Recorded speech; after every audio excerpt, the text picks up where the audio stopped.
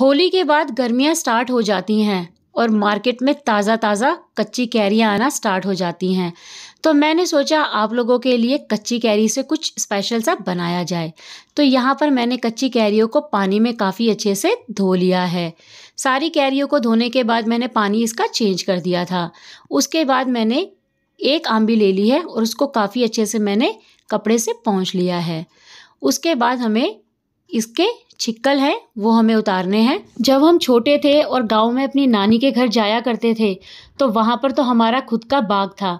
तो वहाँ पर से जो आमियाँ टूट के पेड़ से नीचे गिरती थी ना तो उसके अंदर हल्का सा नमक लगा के खाओ तो बहुत ही टेस्टी लगता था, मज़ा आ जाता था। तो फ़िलहाल बचपन की वो सारी चीज़ें तो नहीं हैं अभी। तो यहाँ पर मैंने कैरी को छीलने के बाद छोटे छोटे टुकड़ों में काट लिया है। यानी चॉप कर लिया है। उसके बाद जो रॉ मैंगो है, उसको मैंने जार में डाल दिया है। यहाँ मैंने लाल मिर्च को 10 मिनट के लिए भिगो दिया था तो वो मैंने डाल दी है। फिर मैंने इसमें लहसन है, छीले हुए वो डाल दिए हैं। साबुत मैंने इसके अंदर धनिया डाला है एक चम्मच। और मैंने फिर इसमें दो से ढाई चम्मच लाल मिर्च डाली है, लाल मिर्च पाउडर। थोड़ा सा इसके अंदर गुड़ डाला है, जिससे है ना, इसका खट्टापन है ना, वो थोड़ा सा बैलेंस हो जाए, क्योंकि आम भी बहुत खट्टी होती है। उसके बाद हम इसमें नमक डालेंगे। नमक आप अपने टेस्ट के अकॉर्डिंग डाल सकते हैं। थोड़ा सा मैंने इसके अंदर पानी डाला है और इसको हमें मिक्सी में अच्छे से ब्लेंड कर लेना है। एकदम स्मूथ पेस्ट तैयार कर लाए। हैं चाहे तो आप इसको सिलबट्टे पे भी पीस सकते हो, जैसे गाँव में हम चटनी बनाया करते थे। शहरों में भी बनाते हैं।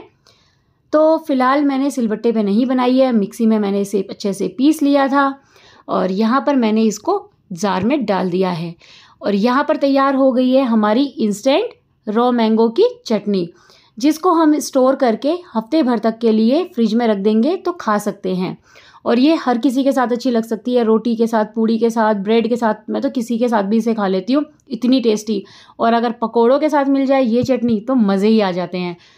तो यहाँ पर हमारी चटनी हो गई है तैयार। अगर आपको मेरी वीडियो पसंद आई हो तो प्लीज़ लाइक करिएगा, ज़्यादा से ज़्यादा शेयर करिएगा। और अगर आप मेरी वीडियो पहली बार देख रहे हो तो प्लीज़ मेरे चैनल को सब्सक्राइब करिएगा, साथ में जो बेल आइकन है उसको भी प्रेस करिएगा।